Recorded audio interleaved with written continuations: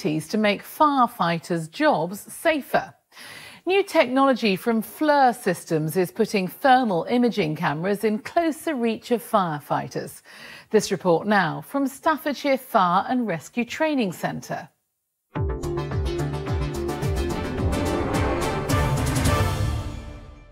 When faced with fire, you need a cool head in the heat of the moment. And a means to visualise quickly how best to respond.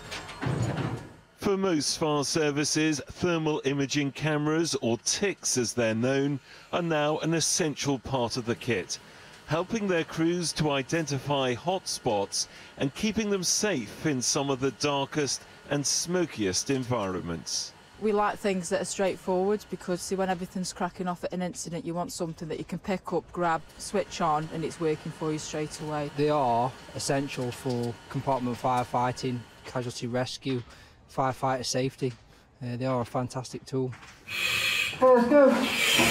Even when entering a smoke-filled room, visibility can drop within seconds, but a thermal imaging camera can act as a second pair of eyes. I've got a casualty down.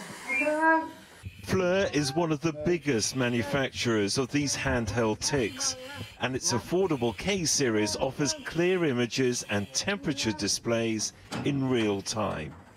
The K series of cameras is designed to support firefighters to do their jobs efficiently and effectively and to save lives as well as protect their own.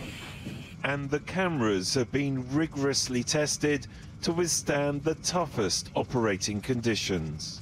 We have had a lot of uh, discussions with uh, fire brigades, how they use it, how they control it, and we have really come up with a, a extremely simple, easy to use product that is totally intuitive, so the training should be at minimum. And the newest models in the K series also have in-camera recording for stills and video, which can be useful for later analysis and training purposes. They speed up the times for search and rescue, so we're locating casualties far faster. Um, they also enable us to find the seat of the fire far quicker. The added benefit of these cameras is they, they record all our um, all the data that we've seen firsthand, which means when we're trying to debrief or brief somebody about a compartment, they can actually see where they're going or, or what we've been doing, which is invaluable. In the past, the price of TICs more generally has limited the numbers of cameras each fire service could afford. But the FLIR range now includes a cost-effective entry-level version known as the K2. There's no recording facility, but that means its smaller size and straightforward operation could see every firefighter potentially carry one. Our aim is to get a thermal camera in every firefighter's hand.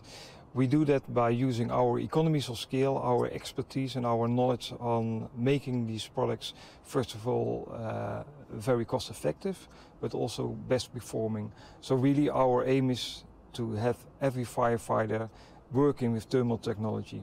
You got the TIC? I've got the TIC here, mate, in front of me. Firefighters have to make split-second decisions every time they're called to a fire but the latest thermal imaging technology from FLIR helps inform and visualize their line of attack. It's a small investment that can make a big difference when it comes to safety, saving lives and protecting property.